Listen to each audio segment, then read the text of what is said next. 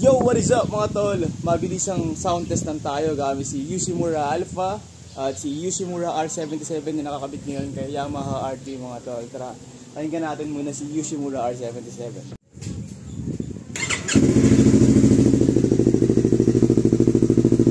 So yan yung tunog ng Yoshimura R77 mga tol.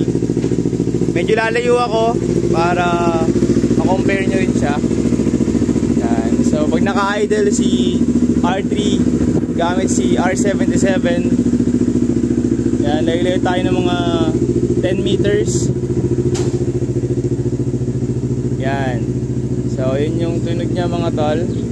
Punta naman tayo sa kabilang side. Punta tayo dito sa likod banda.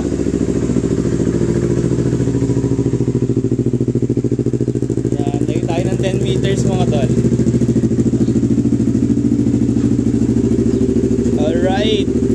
so yun yung tunog niya. Medyo tahimik lang mga tol. Hindi siya ganun kabulahaw. So smooth na smooth lang talaga. Tunog, tunog bass. Medyo mabas siya pero hindi masakit sa tenga. Ngayon bomba naman natin siya mga tol. Bomba natin.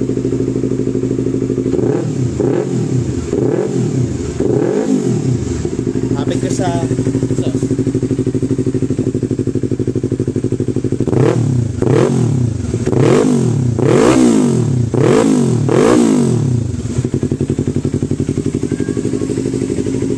kapitbahay, patayin na natin.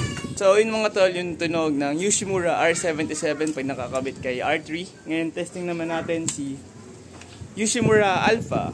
And bakit ito mga tol, lahat to sa Shopee ko lang binili. So, hindi siya original mga tol. Replica lang, pero sa tunog and performance, based dun sa mga may original at may replica, halos parehas na naman. Wala naman ito pinagkaiba. Siguro, mas better lang yung tunog nung original mga tol. Pero siyempre yung price nun, times 10, ganun. ano bang tunog? Pag walang pipe. Kay R3. So testing natin mga tol. Experiment lang tayo.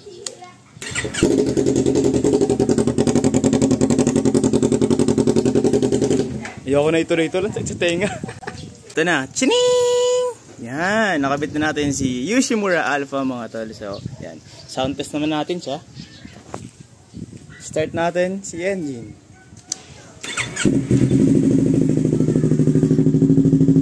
Lalayo ako ng 10 meters mga tol. Sa harapan.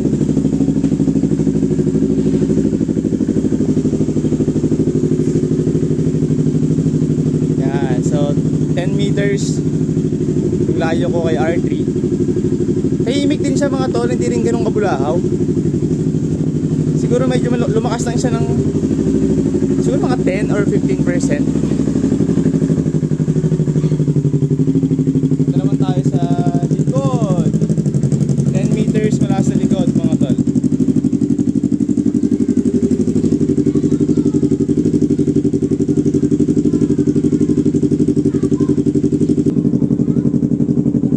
Tingnan natin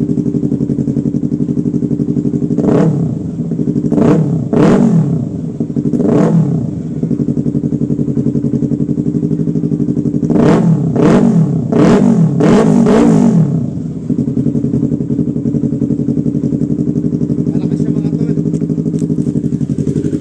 Malakas si Yoshimura Alpha mga tol kapag binobomba, pag nire-rep. Yan.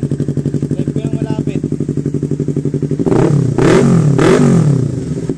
Yun mga tol, so medyo pumupunit yung tunog ni Yoshimura Alpha compare kay Yoshimura R77. So ito si Yoshimura R77. Malaki kasi ito siya. Long type siya. eh. Yan. So, siguro dahil long type siya, medyo malaki siya, medyo napipigilan niya yung sound kasi hindi kasi nakakalabas. Unlike nito, shorty lang kasi siya mga tol, eh, compare ko. Tingnan nyo. Laki ng difference. Yan. Di ba? Masyadong malaki to si Yoshimura R77 compare kay Yoshimura Alpha mga tol. So, yun hanggang dito na lang tayo mga tol. Sana nagkaroon kayo ng kahit papaano idea sa tunog nila kung plano nyo bumili ng pipe. Siguro kung iba man yung motor ninyo, hindi ganun ka kapares yung sound kasi 2 cylinder to si R3 pero medyo similar sa ganun yung tunog mga tol. So hanggang dito lang tayo mga tol. Thank you for watching. See you next time. Bye!